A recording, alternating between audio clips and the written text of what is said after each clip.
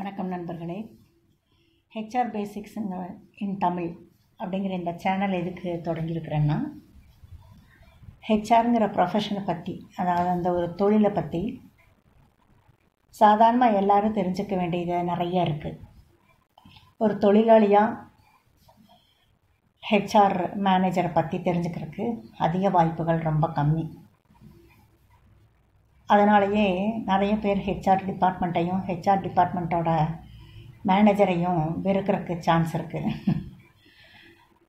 அந்த மாதிரியான சிந்தனைகள் ஹெச்ஆருங்கிற தொழிலை பற்றியான தவறான சிந்தனைகளை கொஞ்சம் மாற்றலாம் அப்படிங்கிற ஒரு எண்ணத்தில் தான் நான் இந்த சேனலை ஆரம்பிச்சிருக்கிறேன்.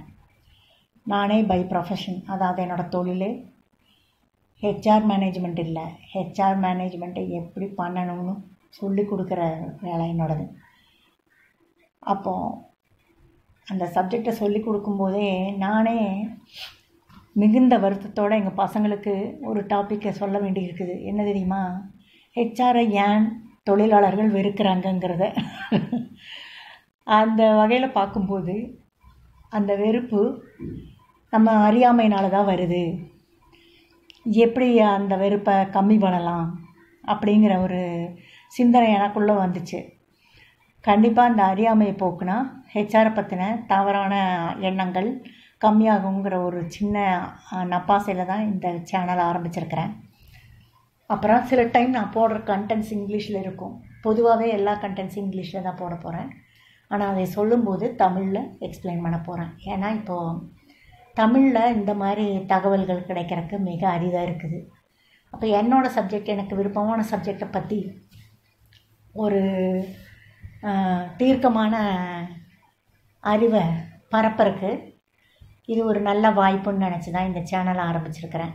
உங்கள் எல்லாரோட ஒத்துழைப்போடையும் இந்த சேனல் சக்ஸஸ்ஃபுல்லாக போகும் நம்பிக்கையோட இந்த வீடியோ தொடங்குகிறேன் முதல்ல இந்த வீடியோவில் ஒரு சில நிமிடங்கள் ஹெச்ஆரை பற்றின சாதாரண அபிப்பிராயம் என்ன?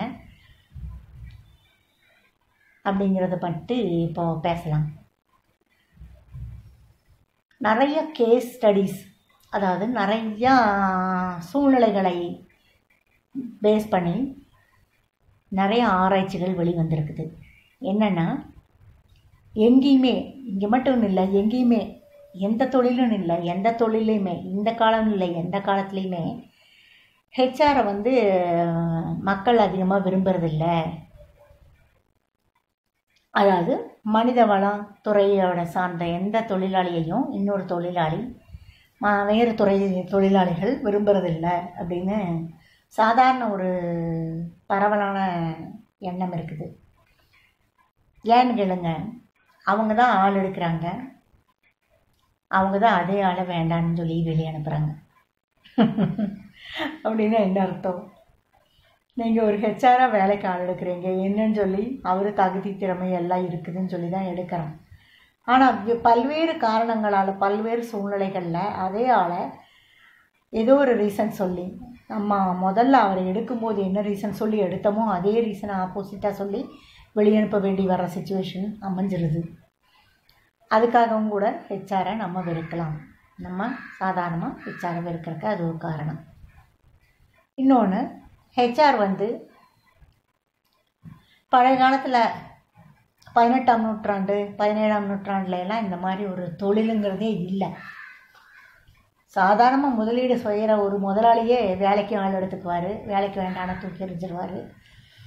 அப்புறம் சில நேரங்களில் முதலாளிகளை எதிர்த்து நிற்கிறவங்களை எல்லாம் அந்த தொழிலாளர் தொழிற்சாலைக்குள்ளாரையே கொலை பண்ணி பணத்தை தூக்கி வீசிடுறது இந்த மாதிரியான சம்பவங்கள் எல்லாம் ஏகப்பட்டது நடந்திருக்குது. அப்போ அந்த காலத்தில் இந்த மனித வளம் மேம்பாடு மனிதவள மேலாண்மை மனிதவள மேலாளர் இந்த மாதிரி பதவிகள் எல்லாம் ப துறைகளெல்லாம் அவ்வளவா முக்கியத்துவம் பெறல. அப்போ எப்போ பெரு முக்கியத்துவம் பெற ஆரம்பிச்சதுன்னு சொன்னால் எப்போ முதலாளிகள் வந்து தொழிலாளிகளை மெஷின் மாதிரி பார்க்காம மனுஷங்களாக பார்க்க ஆரம்பித்தாங்களோ அப்போ தான் அந்த மனிதவள மேம்பாட்டுத்துறைக்கு முக்கியத்துவம் வந்துச்சு. நான் சொல்கிறது பதினெட்டாம் நூற்றாண்டு பதினெட்டு பத்தொன்பதாம் நூற்றாண்டின் ஆரம்பத்துல எல்லாம் மனுஷங்களை மனுஷங்களாகவே பார்த்தது கிடையாது. அவங்க என்ன முதலாளிகளோட எண்ணம் என்னவாக இருந்துச்சுன்னா நான் வந்து பைசா கட்டி கரண்ட் வாங்குகிறேன் ஃபேன் ஓட்டுறேன். நான் வந்து பைசா கட்டி கரண்ட் வாங்குகிறேன் மெஷின் ஓட்டுறேன். நான் வந்து பைசா கட்டி பெட்ரோல் ஊற்றுறேன் வண்டி ஓட்டுறேன். அதே மாதிரி நான் வந்து பைசா கொடுத்து வேலைக்கால் இருக்கிறேன் அவனை நான் என்னோட இஷ்டத்துக்கு யூஸ் பண்ணுவேன். அப்படிங்கிற மாதிரி மற்ற எல்லா சொத்துக்களையும் இயந்திரங்களையும் எப்படி பார்த்தாரோ அப்படித்தான் மனுஷங்களையும் பார்த்துட்டு இருந்தான். முதலாளிங்கிற ஒரு- ஒரு வர்க்கம்.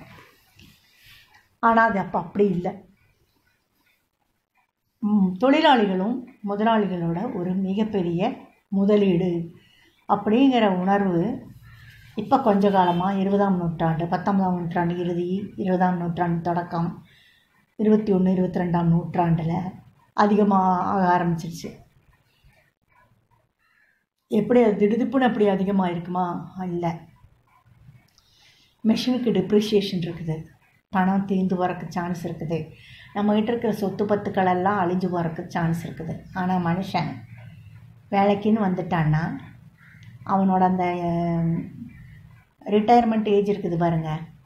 அந்த டைமில் கூட கல்வி திறமையும் ஞானமும் உடல் திறனும் குறைவில்லை என்றால் அவனை மீண்டும் அதே பணியில் நிறுத்தி கொள்ளலாம் என்ற ஒரு மிகப்பெரிய அபூர்வமான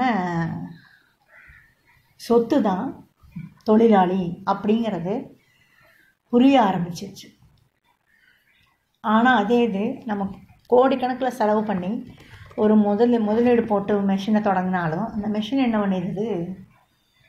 சில வருஷங்கள் தான்.